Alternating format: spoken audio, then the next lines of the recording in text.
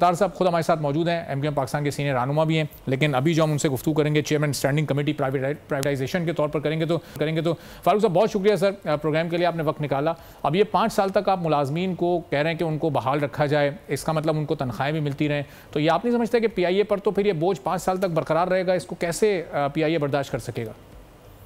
देखिए मैंने मैंने और कमेटी ने हम सबने जो ये एक मशवरा दिया है और हमने पी के मुलाजमीन से बात की है, ज़ाहिर उनकी मुख्तलिफ़ यूनियन चाहे वो यूनाइटेड वर्कर हो, चाहे वो पीपल्स यूनिटी हो चाहे वो लीग हो ना।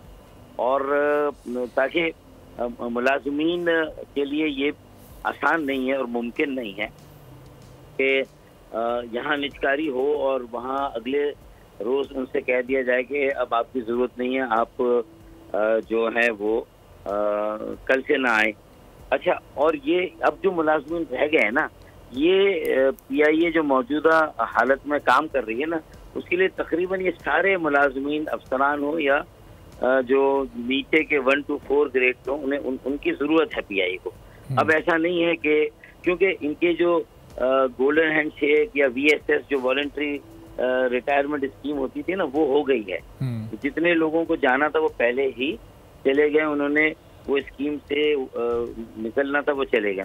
तो मेरे ख्याल में अब इतनी जल्दी किसी जो निजी शोबे में जो भी कंपनियाँ हिस्सा ले रही हैं जो फरीक इसमें पार्टिसिपेट करेंगे मुझे उम्मीद है कि जब तीन साल तक के लिए ये ये जो प्राइवेटाइजेशन कमीशन है और जो का, जो काबीना की कमेटी है वफाकी हुकूमत की जो कमेटी है उन सबने तीन साल कहा है तो हमने उसमें एक मशवरा ये दिया कि देखें जो पचपन साल से बड़ी उम्र के हो ना हम्म। उनके लिए शायद तीन साल शायद सूट करें कि उनको उनकी वैसे भी रिटायरमेंट पाँच सालों में तो उनके लिए आप पाँच साल ना रखें चार साल कर दें हम्म। जो पचास से पचपन हो उनके लिए डिफरेंट स्लैब कर दें उनके लिए थोड़ा सा साढ़े चार साल कर दें और जो पैंतालीस से पचास हो उनके लिए आप पाँच साल कर दें तो हम्म। देखें पैंतालीस वाले को कहेंगे लेकिन तीन साल में चला जाए तो जरा ज्यादती होगी।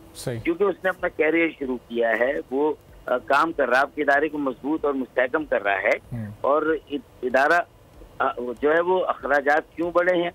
कर्जे क्यों लेने पड़े? और कहाँ अदायगियाँ नहीं हुई हैं?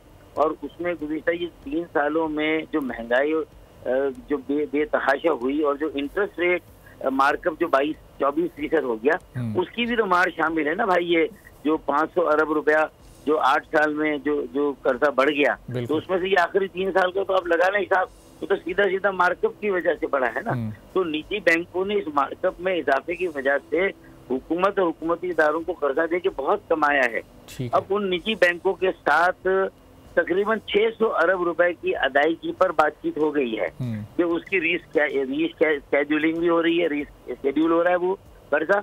उसकी जो मार्कअप रेट है वो चौबीस फ़ीसद था बाईस और सत्रह पर आ गया तो उससे भी कम होकर रिशेड्यूल हो गया। तो छह सौ अरब रुपया तो जो है वो होल्डिंग कंपनी को दे दिया गया हम्म। जो कि इस निजकारी का हिस्सा नहीं है। निजकारी में सिर्फ़ दो सौ अरब रुपए का कर्जा पास ऑन हो रहा है और उनके लिए भी यही सहूलत होगी। तो मेरे ख्याल में जिस कंपनी को भी दिया जाएगा चाहे वो पी के पास खुद रहे जो वफाकी हुकूमत के पास और जो दो सौ अरब रुपए जो निजी शोबे को कर्जा दिया जाएगा तो उसकी भी बड़ी वापसी आसान ठीक है। साहब ये जो आप लोगों की पाँच साल वाली तजवीज़ है तो इस पर जो बोली दहंदगान हैं जो पार्टिसिपेंट्स हैं जो ख़रीदार हैं उनका इस वक्त मूड क्या है? ये म्यूचुअल कंसेंसस होगा या फिर ये कमेटी के पास आपकी ये इस्तेकाक के ये इख्तियार मैंडेट मौजूद है कि आप उनसे ये बात मनवा सकते हैं कि जी पाँच साल तक आपने इस एज कैटेगरी के लोगों को रखना ही रखना है? देखिए हमने तो ये दबाव पूरा रखा है और हम भी पार्लियामान का हिस्सा है और ये मॉनिटरिंग कमेटी बनती इसीलिए है कि सारा का सारा ये जो कोई और जो भी बेहिसी का है मुजरिमाना गफलत का है इसमें लूट मार भी हो सकती है। ये सारी चीज़ों को भी बाद अजा आप कोई कमीशन बना के कि आखिर ज़िम्मेदारी किसकी है भाई? ये भी तो पता होना चाहिए ना कि ये आठ सालों में जो निजकारी का अमल 2015 में रोक दिया तो उसके रोकने से 800 अरब का मजीद नुकसान हो गया ना। तो इस चीज़ का भी और फिर किसने करप्शन की, किसने लूट मार की, किसने बेजा अखराज और बेजा सरफा तो ये सारी बातें भी लेकिन ये अलग हो। हम्म। ये अब हम मजीद अगर अब ये अमल रुकता है तो इससे मजीद नुकसान होगा कौमी खजाने को और पी आई ए के ऊपर मजीद बोझ बढ़ जाएगा। तो ये बड़ा अच्छा काम किया है कि 600 अरब रुपए विद होल्डिंग कंपनी को ये कर्जा उतारना है और 200 अरब जो कंपनी इसे पीआईए को खरीदेगी वो देगी। और दोनों के लिए आसान शराइतें बैंकों में रीशेड्यूलिंग हुई है इंटरेस्ट रेट या मार्कअप रेट कम कर दिया गया है यानी इस कर्जे की वापसी का। अगर मैं कहूँ कि बारह फ़ीसद कर दिया गया तो मेरे ख्याल में ये वारा खाएगा। आप समझ रहे मेरे?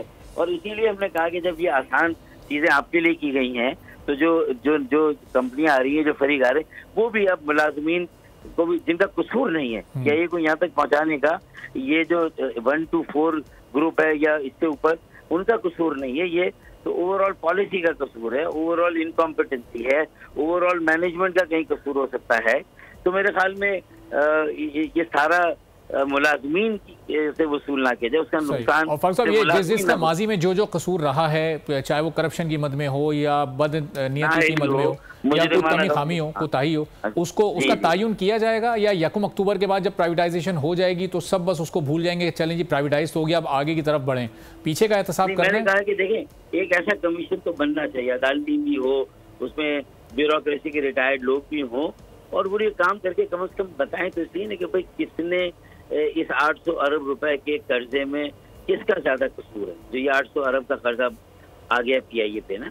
ये होना तो चाहिए ताकि हम अपनी हिस्ट्री में भी एग्जैक्टली तो करें कि हमारा कसूर पॉलिसी लेवल पे ज़्यादा है हमारा कसूर मैनेजमेंट लेवल पे ज़्यादा है हमारा कसूर इम्प्लीमेंटेशन लेवल पे ज़्यादा है और कुछ हालात का दोष है कुछ हमारी मजमू मीशत उसका दखल है महँगाई बेरोजगारी और जिस तरह कीमतें बढ़ी हैं हम्म। ये सारी चीज़ों का हिस्सा बकदर ये आना चाहिए ताकि फिर आगे हम उसी लिहाज से अपनी इसलाह कर सके। ये भी हमने कहा रिकमेंड किया हम हाँ। रिकमेंड कर सकते हैं। अच्छा तो रिकमेंड हमने कर सकते यही मैं पूछना चाह रहा था अगले सवाल कि ये कमेटी का मैंडेट नहीं है कि वो फॉर्मेशन में अपना किरदार अदा कर, कर सके ऐसे किसी कमीशन का? चूँकि एक बड़ा शानदार तो रहा है पीआईए का सिक्सटीज सेवेंटीज और एटीज में तो।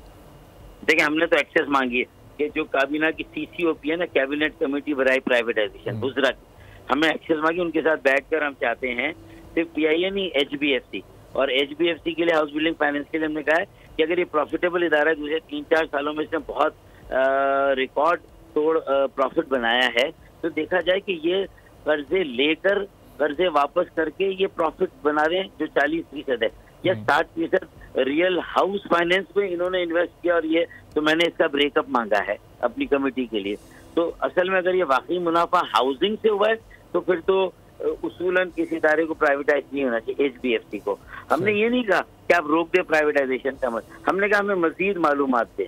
और मजीद मालूम इसके मुनाफे का की जो सूरत है वो इंटरेस्ट पर इंटरेस्ट है यानी जो इंटरेस्ट देकर इंटरेस्ट कमा रहे हैं वो या ये कि ये रियल हाउस फाइनेंस में उन्होंने इन्वेस्टमेंट की और वहाँ से उन्होंने वसूली की और उन्हें मुनाफा हुआ। है तो अगर ये आ जाए तो तो हमने कमेटी ने एक्सेस मांगी। ठीक है साहब चूँकि पिछले एक साल में जो पीआईए के नुकसान का एक तखमीना सामने आया वो 80 अरब का है तो इसकी प्राइवेटाइजेशन का मतलब सीधा मतलब ये होगा कि अगले एक साल में चाहे मुनाफे में जाए पीआईए या नुकसान में जाए ये अरबों का जो नुकसान हो रहा है ये पाकिस्तान की मीशत पर नहीं पड़ेगा पाकिस्तान के खजाने पर नहीं पड़ेगा उस प्राइवेट पार्टी पर पड़ेगा जो इसको खरीदेगी। हाँ हाँ हाँ ये निजी शोबे पर जाएगा। अस्सी अरब का मैं नहीं कह सकता लेकिन जो दो सौ अरब रुपए जो पास ऑन होंगे उसकी रिलीफ मिल जाएगी और जो 600 अरब रुपए होल्डिंग कंपनी को देने वो अब रूजवेल्ट होटल इंशाल्लाह ताला अल्लाह करे उसकी ड्यू डिलीजेंस सही हो उसके लिए फाइनेंशियल एडवाइजर। मुकर हो गया हम हम सारी जो निचकारी का अमल है चौबीस एंटिटीज का जैसे जैसे वो आगे बढ़ रहा है हम कमेटी पंद्रह रोजा हर पंद्रह रोज में मीटिंग करके फॉलो अप लेते रहेंगे और नज़र रखेंगे तो इस वक्त हमारी नज़र सीआईए पर है रूस रूजवेल्ट की निचकारी पर है और एच की निचकारी पर है। सब्सक्राइब करें और बेल दबाएँ ताकि कोई खबर रह न जाए।